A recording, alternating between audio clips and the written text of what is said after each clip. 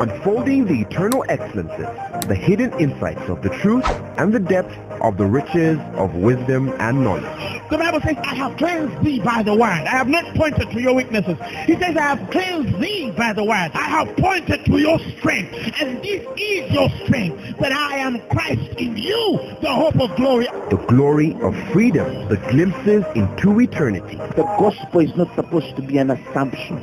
It's not supposed to be just a mere presupposition. Truth is older than language, but the word of God is way deeper than any human language. And now, Apostle Grace Today, we're going to with the word. teaching from Hebrews chapter 2, from the fifth verse. Now the Bible says, For unto the angels has he not put in subjection the world to come, whereof we speak. He says, For unto the angels has he not put in subjection the world to come, whereof we speak. What do we mean by the world to come? We're speaking about any moment after now. We're speaking about tomorrow. We're speaking about next week. We're speaking about next month. We're speaking about next year. We're speaking about next century. We're speaking about next decade. Anything that is in the realm of the world to come, the Bible says he has not subjected that world of the things to come unto the angelics. Okay? That means he's telling us that there are people, there are entities to which he has subjected the world to come. There are entities that own the world to come. There are entities that own tomorrow. There are entities that own next week. There are entities that own next month. There are entities that own next year. There are entities that own this decade and the next decade. There are entities that own the century. And he said, it's not to the angelics that he has subjected the worlds to come, the ages to come. There are entities God has given the worlds to come. And the worlds to come are subjected to them, are submitted to them. They have dominion over those worlds, those ages, those periods of time. And the verse 6 says, But one in a certain place testified, saying, What is man that thou art mindful of him, or the son of man that thou visitest him? What is man that thou art mindful of him, or the son of man that thou visitest him? And the next verse 7 says, But thou hast made him a little lower than the angels. You have made him a little lower than the angels, and thou crownest him with glory and honor, and didst set him over the works of thy hands. Wait a minute. You have made man lower than the angelics, crowned him with glory and honor, yet you are saying that you have not subjected the worlds to come under the angelics. But yet Hebrews 2.7 would make you assume that man is lower than the angels. So if man is lower than the angels, and yet it's not to the angels that you subjected the world that is to come, who then did you subject the world that is to come? It's an interpretation issue. And that's something I want to explain to us today. Okay? When you read the Greek rendering, in fact, the amplified version of that verse speaks the exact Greek rendering. Okay? And in the amplified Hebrews 2.7 it says, For some little time you have ranked him lower than and inferior to the angels. For some little time you have made, or you have ranked him lower and inferior to the angels for some little time. What do we mean by for some little time? When you go through the Greek to study what he means by some little time, he's talking about the experience of the fall.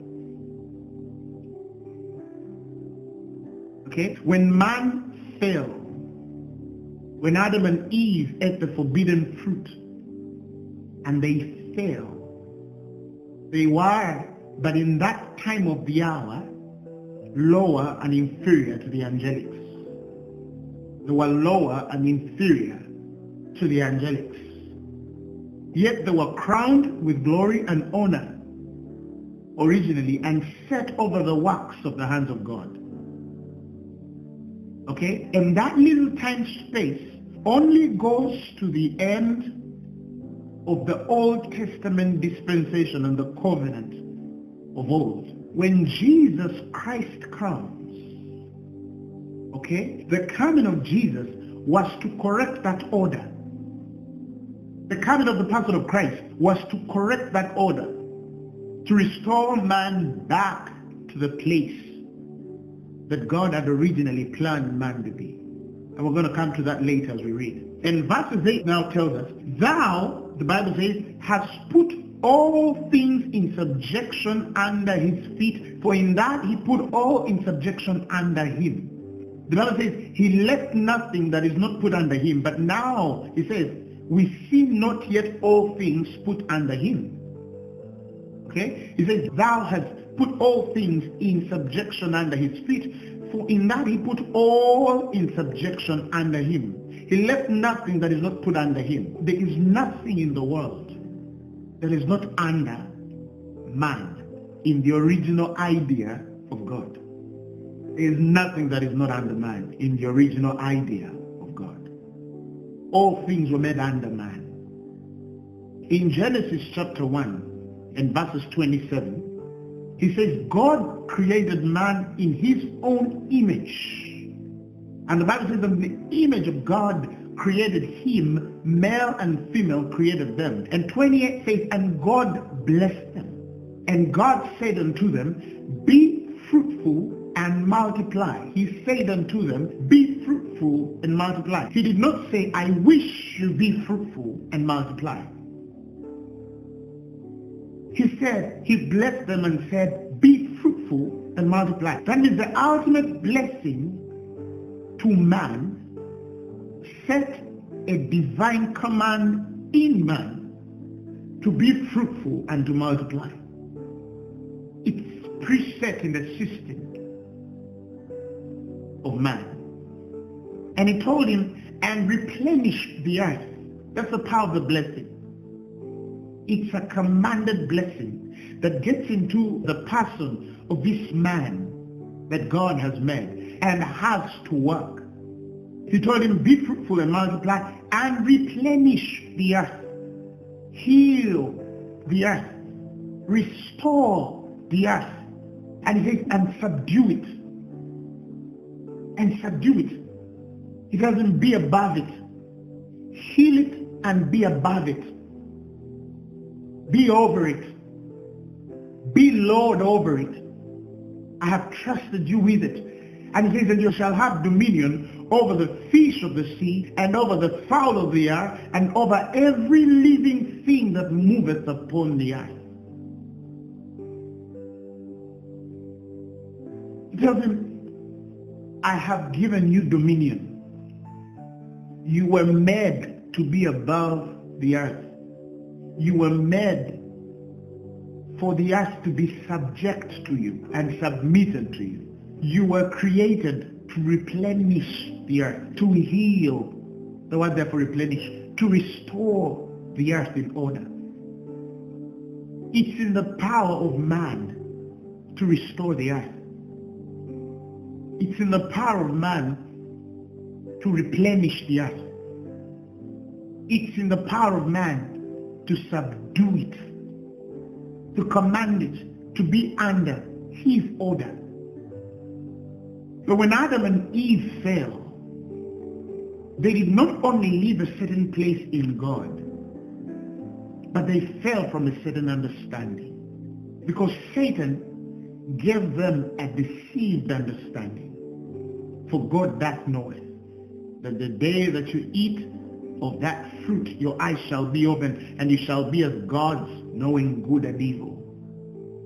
And when the woman saw that the tree was good for food and that it was pleasant to the eyes and desires to make one wise. The Bible says she took the fruit thereof and ate it. And from that day, man fell. That is why when God comes into the garden, he says, Adam, where are you? Where are you?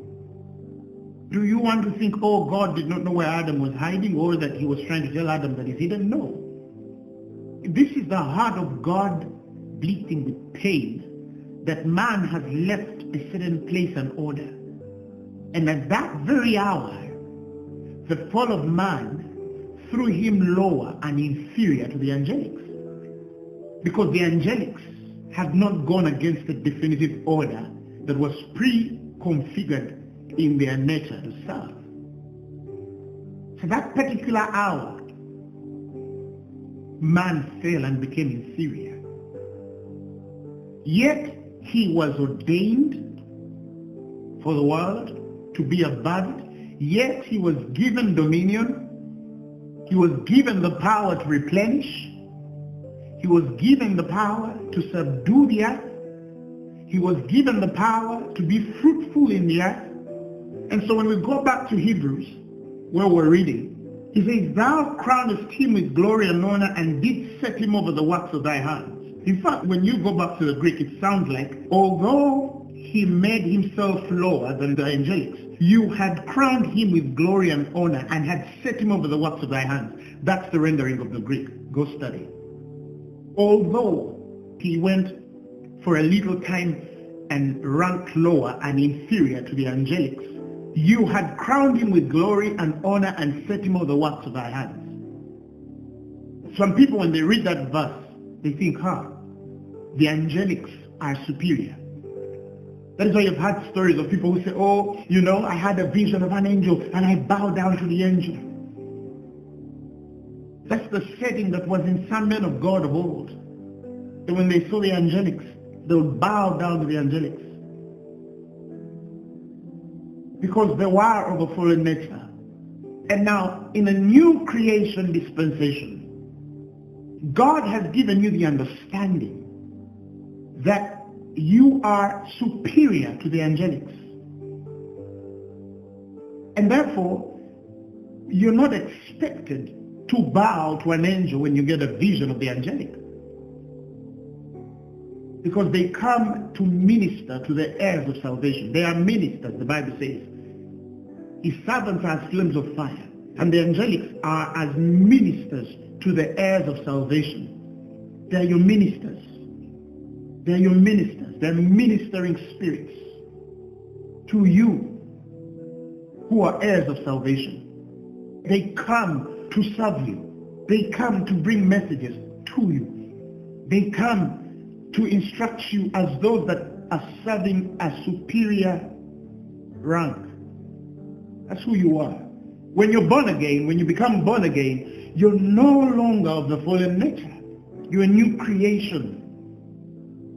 The seed in you, the Bible says, is incorruptible. He says, that seed in you is incorruptible. It liveth and abideth forever. And because it is incorruptible, it can in no way go back to an inferior nature, an inferior rank from the angelics.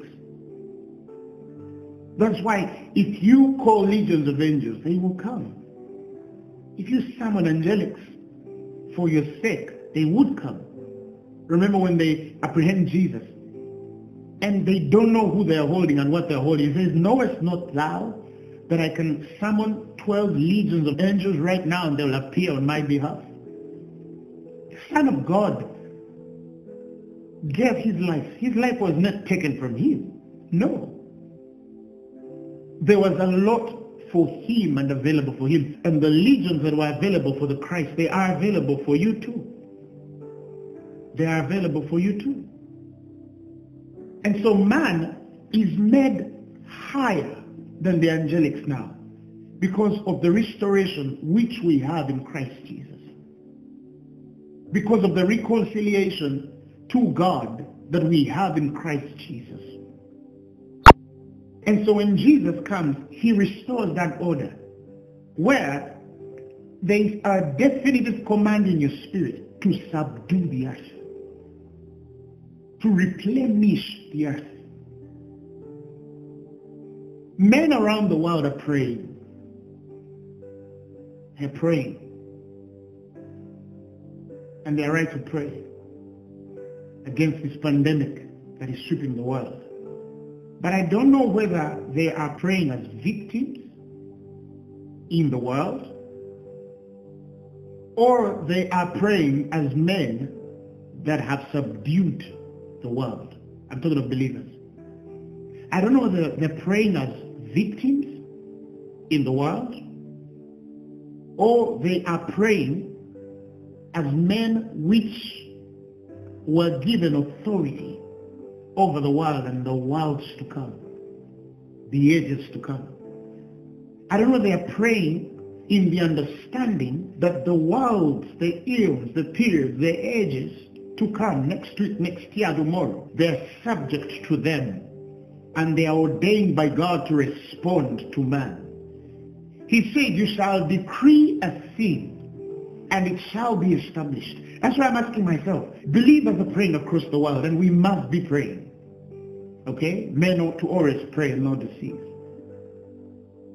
And it tells us, be anxious about nothing.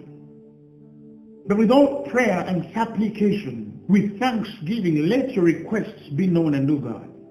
Why does he use with thanksgiving? Because we already know the result of our prayer.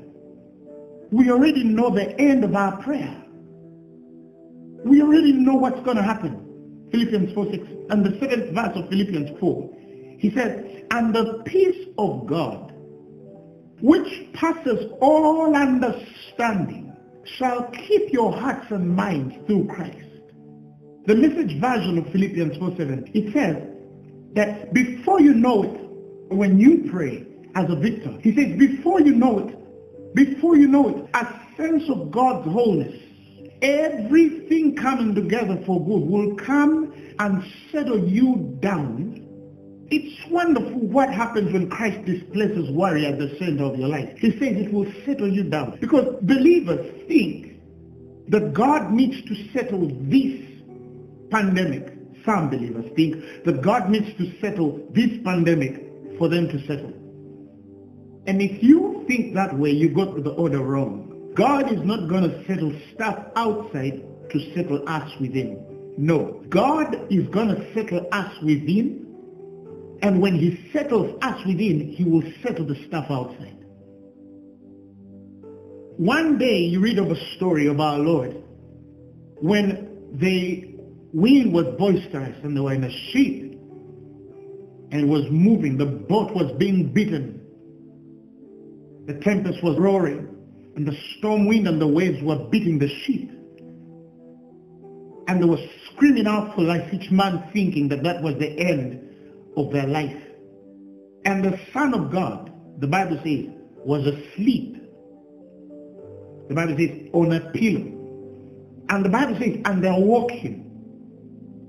Now, I don't know about you, but it's practically impossible for wind boisterous to be hitting a sheep and it is shaking and you're sleeping.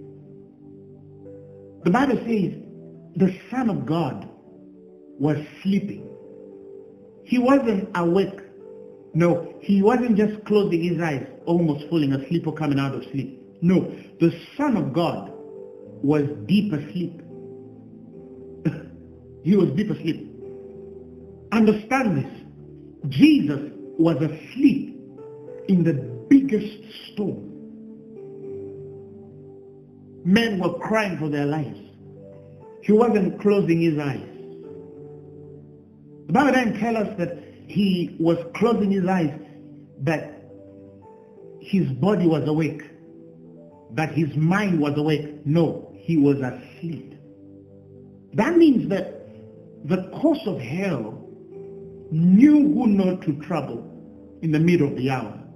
It knew who not to trouble. But also, the mind that was preset in the Son of God, the attitude that was in the Son of God, could not let him wake up. Oh God, I wish God will help us understand what I'm saying. The attitude, the mindset in the Son of God could not let him wake up. It could not let him wake up. There was no way he would awake because of a storm. No. And because his mind was that exercised, it had grace and power to sleep. Glory to God. Glory to God. It had power and authority to sleep. Jesus could sleep. May God exercise you. May God exercise your spirit.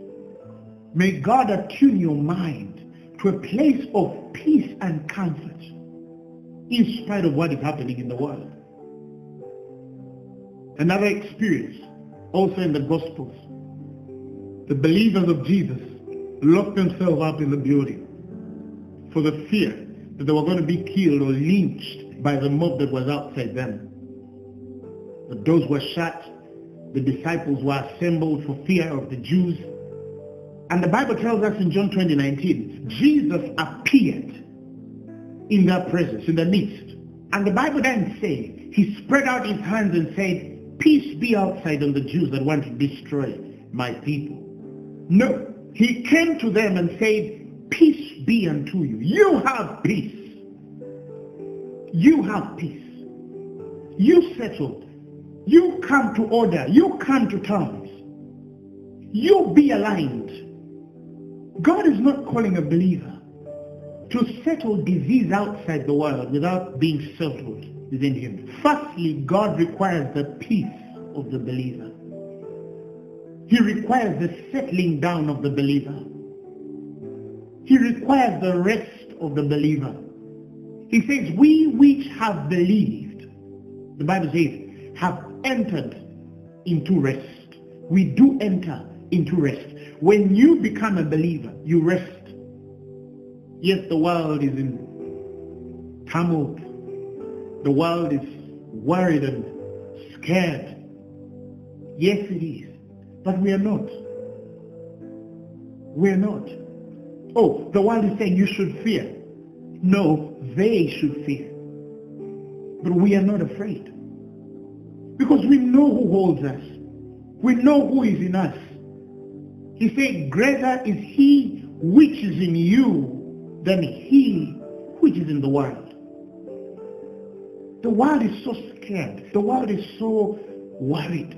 The world is in fret. It is in a fear like we have never seen before. And people are in their minds opening up to all sorts of possibility of what this could become. And sadly, some believers are following it. They are restless. No, we know there's a pandemic in the world. We recognize that. And the world will do whatever it has to do. Because humanity will outlive this pandemic. We are praying through prayer and faith toward God. We will overthrow this. But while we are in that process, do not fret. God says, you have peace. You have peace. You find rest. That is why he says in Philippians 4 7, in the message version, he says that when you do this, before you know this, when you learn to pray a certain way, he says a sense of God's wholeness, uh, everything coming together for good, he says, will come and settle you down. That means we pray so our spirits can be settled. We pray so we can get back in control of ourselves. Because if we don't have control of ourselves, how can we have control over the world? If we cannot subdue ourselves, how can we subdue the world? If we cannot replenish ourselves, how can we replenish the world? If we cannot have dominion over ourselves, how can we then have dominion over the world? Say amen. So that is what he's trying to tell us there. So we continue in Hebrews 2. So in verse 8, you've put all things in subjection under his feet. For in that he put all in subjection under him. And the Bible says, and he left nothing that is not put under him. There is nothing that is not under man. There is nothing that is not under man. There is nothing that is not under a believer. Now here we're talking about the regenerated man, the new creation. This does not apply to the fallen man. It applied to Adam and Eve before they fell. But after the fall for a little while, man was ranked inferior, okay, to the angelics. When Christ is come, that order is restored because we are reconciled back to God. Okay? We are placed in a place even higher than Adam and Eve. So, the Bible says you put all things under him. But then he continues to say, but now we don't see all things under him. We don't see all things under him. We might not see all things under him. Verse 8, we don't see that. In other words, there are things around the world that don't show, but are not yet evident that all things are under man. There are things that are not yet showing, that are not yet giving proof of that reality. There are things that are not yet expressing in form. For example, we believers are given power over the world. We have dominion over the world. We are supposed to subdue the world because it's in our nature and power and ordination to replenish and heal and restore the world. Yes, it's in our nature. But we are seeing a pandemic around us. We're seeing disease around us. We're seeing bondage around us. We're seeing troubled homes around us. We're seeing sick folk around us. There's probably somebody watching me right now. You are maybe suffering from cancer or HIV. Tonight God is going to heal you. Today is your answer, not tomorrow. Tonight is your answer. Tonight is your answer. It's your answer. Tonight is your answer. So it says here, what happens when we don't see yet all things put under him? What we do when we don't see yet all things put under him? What are we supposed to do? How are we supposed to react? How are we supposed to respond when we see things that provoke our nature as a new creation? Verses 9. He says, but we Says, but we see Jesus. We see Jesus. We see Jesus. We see Jesus. We don't see the statistics. We see Jesus. We don't see how bad it is. We see Jesus. That already is obvious to the world. The Bible says in Hebrews 2 9, but we see Jesus. We don't see death. It doesn't mean that death is not happening across the world. It is happening. But it's not the central focus for the believer. Because if the believer continues to just see and recognize death, that believer is opening up to more death. But the Bible says, but we see Jesus. Yes, you're going through a trying time, but we see Jesus. Yes, your finances are crumbled, but we see Jesus. The rumblings of death are hidden on the doors every hour of the families and households across the world. But we see Jesus. People are under lockdown and quarantine. Yes. Don't look at that quarantine. See Jesus. Look at him. There's song that says, look and leave. Look and leave. My brother, leave. Look to Jesus now and leave. It's recorded in his word. Hallelujah. Only that you agree. And there's another song that says, Turn your eyes upon Jesus. Look full in his wonderful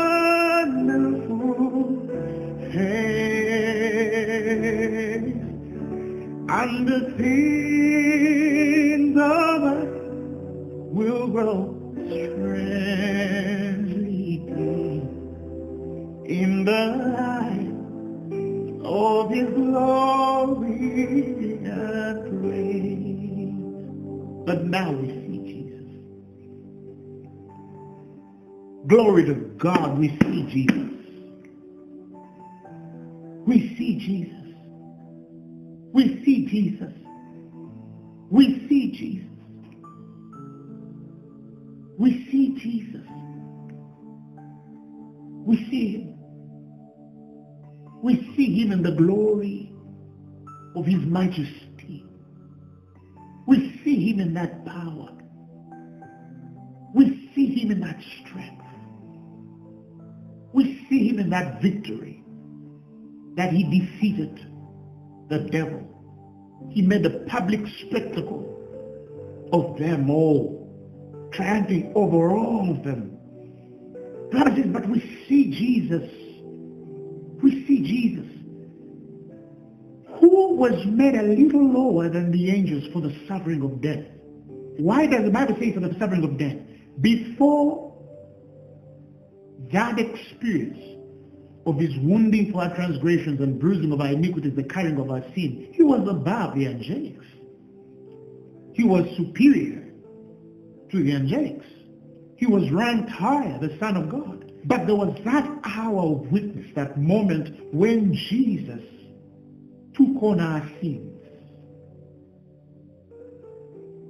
He carried the burden in the likeness of a man in the form of a servant. And the Bible says he became obedient unto death, and even the death of the cross. And the next verse says, Wherefore, the Bible says, God has also highly exalted him and given him a name which is above every name. That at the name of Jesus, every knee should bow. He doesn't say could or might bow. No. Every knee should bow of things in heaven and of things in the earth and of the things under us. And every tongue should confess that Jesus Christ is Lord to the glory of the Father. Praise God. Praise God. Praise God. Hallelujah. Now let's go back to Hebrews 2 verses 9. He says, But now we see Jesus, who was made a little lower than the angels for the suffering of death, crowned him with glory and honor. The Bible says, that he, by the grace of God, should test death for every man. Every man. Praise God. And the next verse says, For it became him, for whom are all things, and by him are all things, the Bible says, in bringing many sons unto glory, to make the captain of their salvation perfect through sufferings. Saying that's the reason why Jesus suffered. He was made a little lower than the angelics. He came and carried our sins on the cross. When he became sin, he went down in rank. He became inferior to the angelics that had never sinned. But why? That he will become all things for whom are all things and by whom are all things in bringing many sons to glory to make the captain of their salvation perfect through sufferings. The Bible says. And verses 11 now tells us, For both he that sanctifieth and they who are sanctified, the Bible says, are all of one, for which cause he is not ashamed to call them brethren. At that particular hour. And the next verse he told them, I will declare thy name unto my brethren in the midst of the church will sing praise. He's saying, I'm getting to their level. I'm getting to the level of fallen man. And verse 13 says, and again, I will put my trust in him. This is Jesus. And again, behold, I and the children which God has given me. This is Jesus speaking. Okay? For as much as then as the children, the Bible says, are partakers of flesh and blood, he also, the Bible says, himself likewise took part of the same. That was the only way. And that through that Bible says death, he might destroy him that had the power of death, that is the devil. That was the only way Jesus would destroy Satan. He partook of flesh and blood. He took of the same. Flesh and blood, the Bible says, cannot inherit the kingdom of God. Because that flesh and blood is of a fallen nature. So what does he do? He took on flesh and took on blood to get into the fallen nature, the rank lower, the man that had lost the power and authority to subdue, to have dominion, to replenish, to have control over things and the ages to come. He became that and went under, that he might destroy the power of death. And I love verse 15. Verse 15 says, and to deliver them who through fear of death were all their lifetime subject to bondage. Men had reason to fear death. They had reason to fear death. And because they had reason to fear death, they were all subject to death. Because they can do nothing in the world. They no longer have authority over the world. They no longer have dominion over the world. They don't have the glory to subdue it. They don't have the authority to subdue it. They cannot restore. They cannot replenish when the world goes out of line.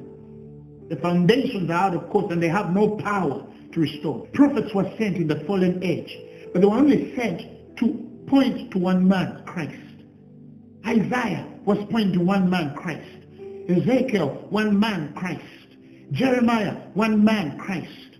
Elijah, Elisha, the typification of how John the Baptist comes in the spirit of Elijah. Because there's an Elisha coming. And he's saying, one which is coming, I'm not worthy to untie even his laces because he has a superior grace. Like we see Elisha elevated in the ranks of the anointing above Elijah. But it takes the humility of God. Oh, how can you even liken that to Christ? Can you believe that that Jesus, the Son of God, our Lord, even in that order, came in humility as a son of David?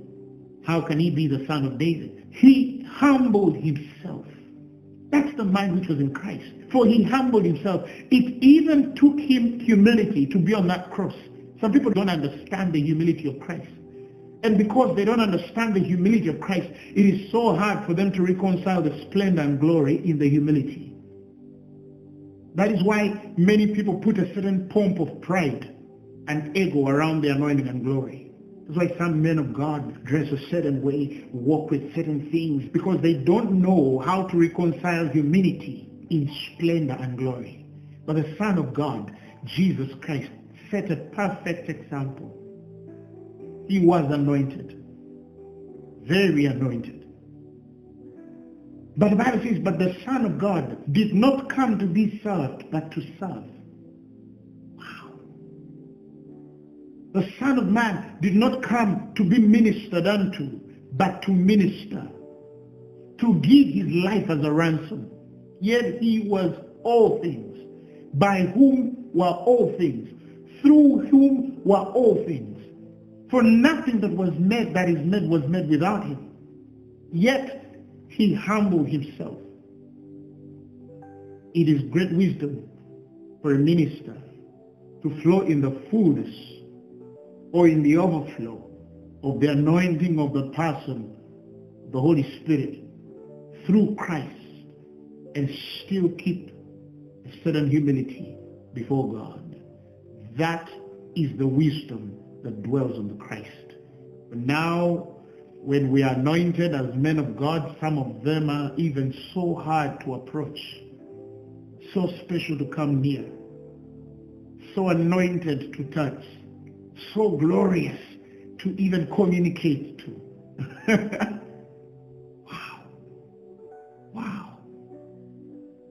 Bible says, but that is not how so you have learned Christ. That is not how so. You have learned Christ. There is a way we learn Christ. There is a way we learn of Christ. Although it's hidden from many men because religion and ideas and doctrines of men are filling our airwaves in the name of the doctrine of Christ. And now believers can't even discern depth. They don't even understand how heaven ranks men and his ministers. Today we celebrate the gift more than the wisdom of God. But that's for another day. So the Bible says in Hebrews 2.14, he says, when he partook of flesh and blood and took part of the same, through death he had and wanted and intended to destroy him that had the power of death, and that is Satan. And he did that. And, and he didn't only go to destroy Satan, which had the power of death, and, and the Bible says, deliver those who through fear of death were all their lifetime subject to bondage. The message version of that in Hebrews 2.15, the Bible says, he freed all who cowered through life scared to death. He freed all who cowers through life scared to death. The Amplified Version says, he also, that he might deliver and completely set free all those who through the haunting fear of death were held in bondage throughout the whole course of their lives. That means a believer is not supposed to fear, more so death. Do not be afraid of corona if you're a believer. Believe God that he will keep you through this season. And if you're there and you're a believer and you've been affected by corona, by COVID-19, claim this promise in God and say in the name of Jesus, I shall not die. I shall not die. We refuse to lose men to corona. We refuse to lose men to COVID-19. Not in this nation, not in the world. We refuse it in the mighty name of Jesus. We refuse it. We refuse it. We refuse to lose our loved ones to disease. We refuse to die early. Our days on earth shall he fulfill. In the mighty name of Jesus. In the mighty name of Jesus. So he said, you are free.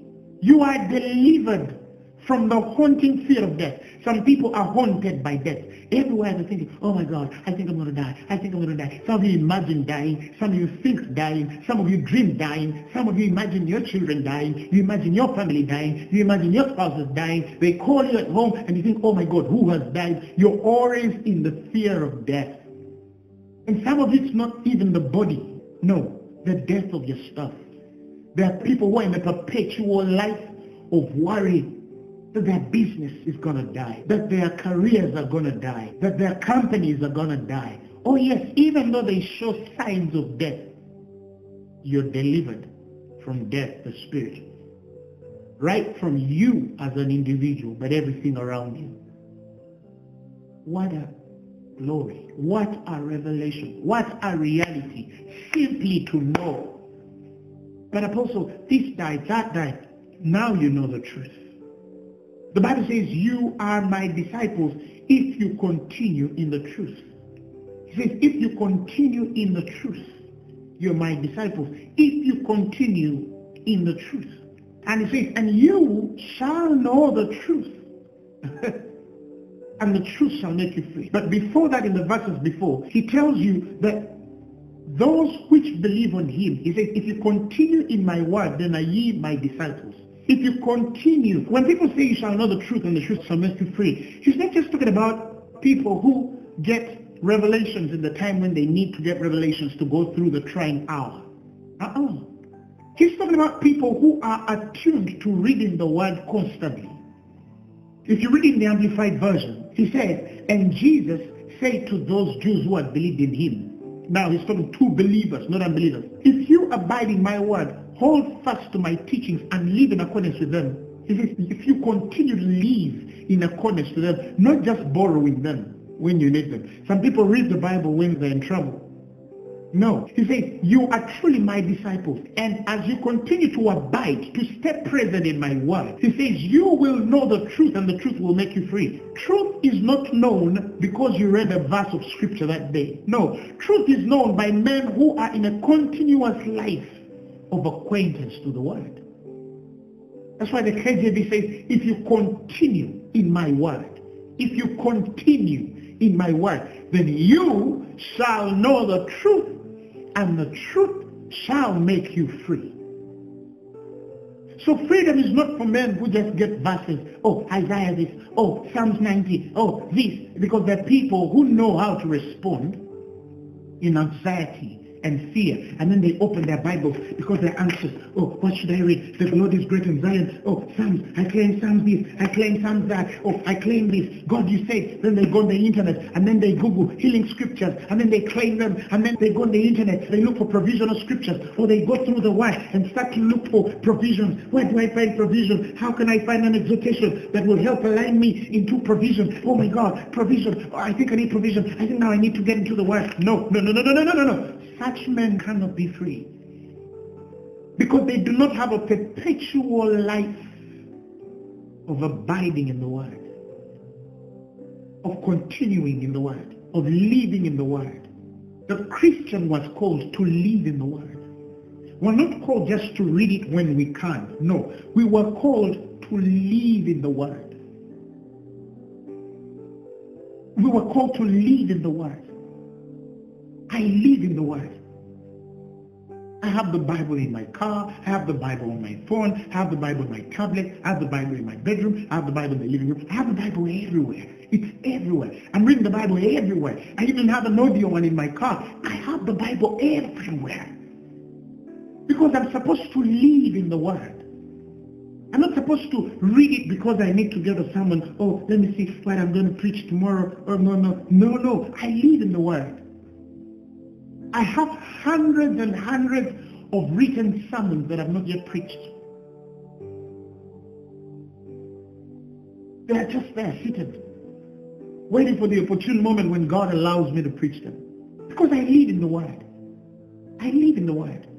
And sometimes I look through, and Spirit tells me, uh-uh, this is not for this time. This is for next year. This is for four years to come. I have stuff already written in my spirit and some even on my notes that I'm to preach three or four years to come or five years to come because I live in the word. I've lived in it. It's me. I breathe in it. So he said, if you continue in my word, if you continue in my word, he said, then are ye my disciples indeed. And he said, and ye shall know the truth and the truth that makes you free. We're talking about the truth that makes you free. We're not talking about just the truth that causes you to boast around. Hey, hey, I know the word. There are many men of God who speak the word but bring a deaf ear. Bring a tumor to them. Bring cancer to them. They're still loafing in poverty. They are rambling in lack. They are complaining. They are whining before God. They don't have results. Oh, but they quote scriptures. Why? Because they only read it to preach it. And so the gift in their lives, yeah, yeah, you're gifted. But there's a difference between a man who reads the word to speak it and a man who reads the word because they live in it. That is a man that finds the truth that sets free. There are men who are speaking truth, but even the truths they're speaking can't fix their lives. They can't fix their children. They can't fix their marriages. They can't fix their finances. They can't fix their ministries. They don't live in it. They don't continue in it. They borrow it. They learn to teach it. They don't live in it. They just learn to teach it. They don't live in it. When you learn to read and live in this word, everything you read will start to create freedom around your life. Be a lover of the word. Some people think that they're going to go beyond it and survive in the giftings of men of God. Oh, what if, yes, God has anointed me to heal the sick. That, everybody who has followed this ministry knows that. But God has not called you to live by my faith. There are prophets in the world, but God has not called you to live by prophetic utterance.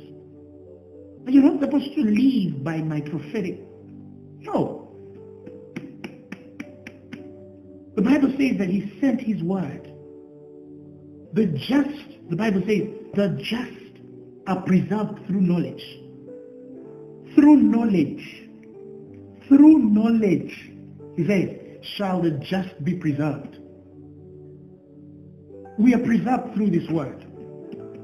So that is why I'm telling people, even when you're isolating and quarantining and in lockdown, live in the word. Live in the word. Live in the word. The Bible says in Psalms 115 verses 16, the Bible says, He has given the earth to the children of men. He has given it. It's. You're in charge. Subdue it. Control it.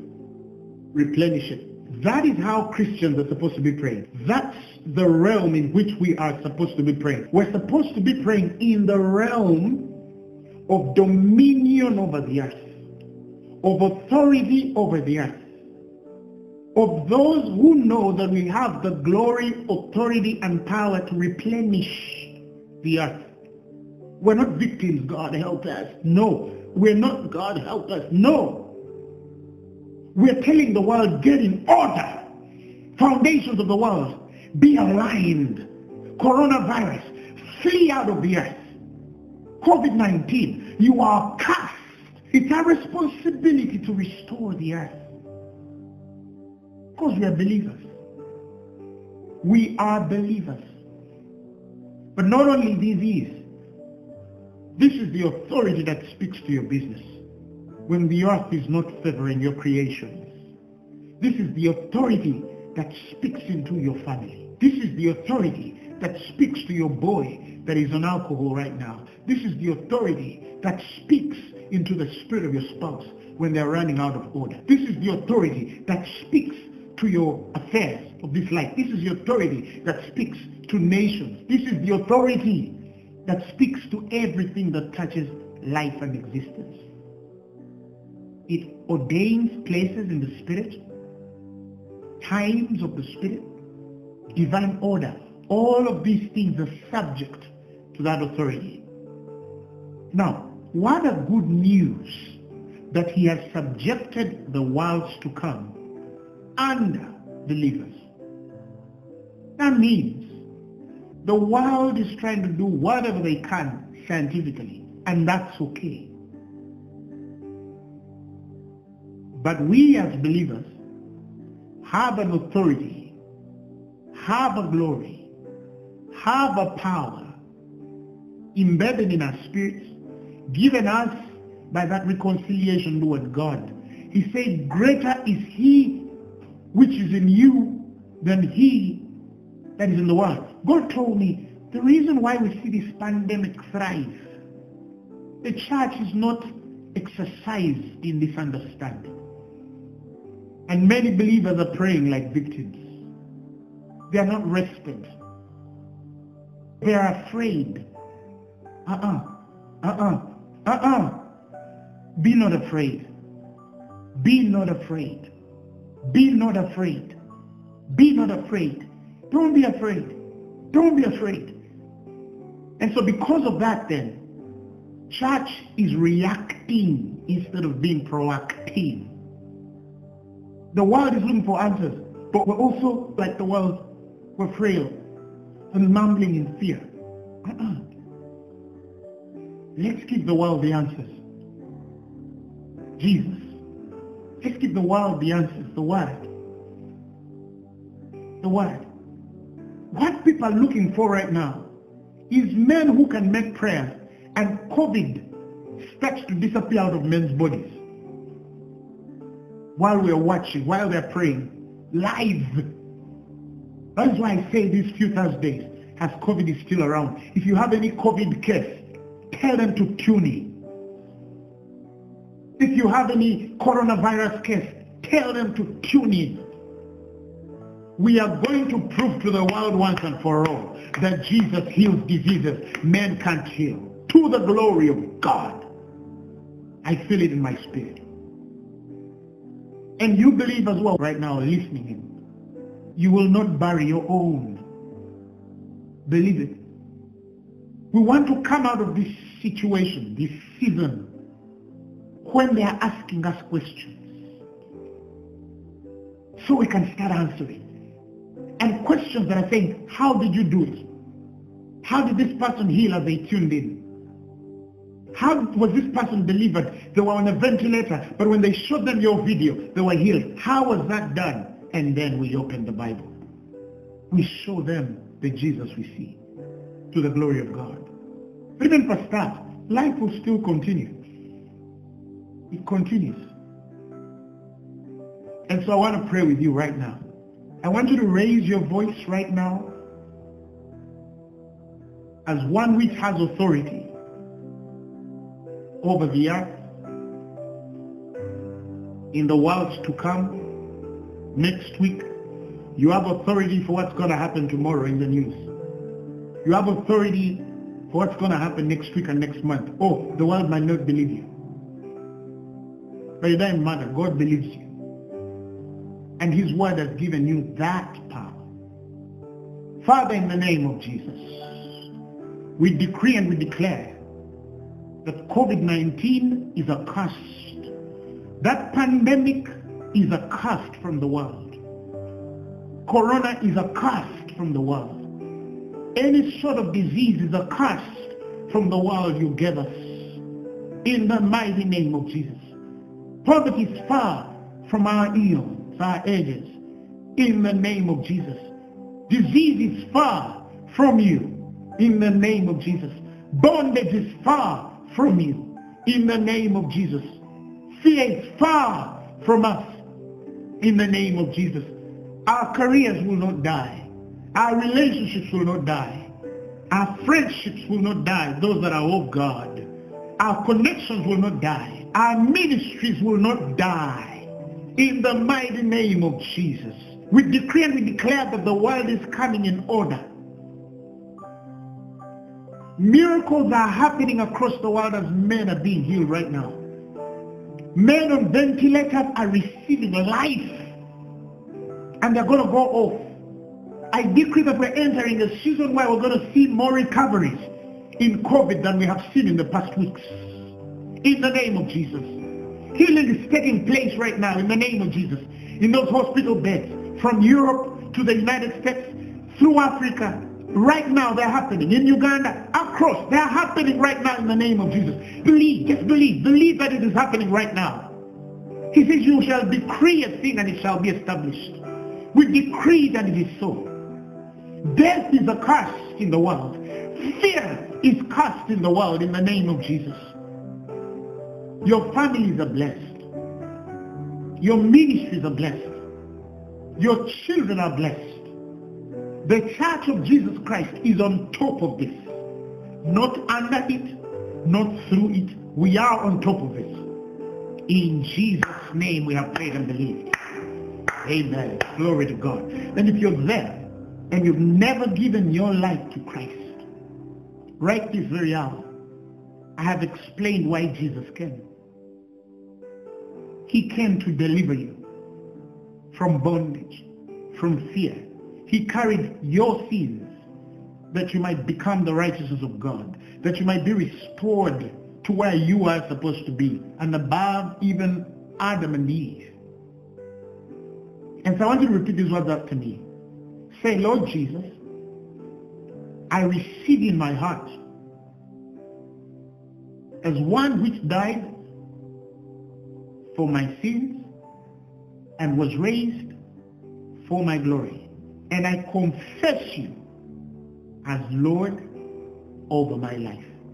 Amen. The message you have just heard was brought to you by Phaneroo Ministries International. For more information, contact us on telephone number 041 466 4291 or email us at phanerookampala at gmail.com. You can also find us on the web at www.phaneroo.org. Or better still, feel free to join us every Thursday for our weekly fellowship at UMA Multipurpose Hall from 5 p.m. to 8 p.m. You can also catch the live stream at livestream.com slash Phaneroo.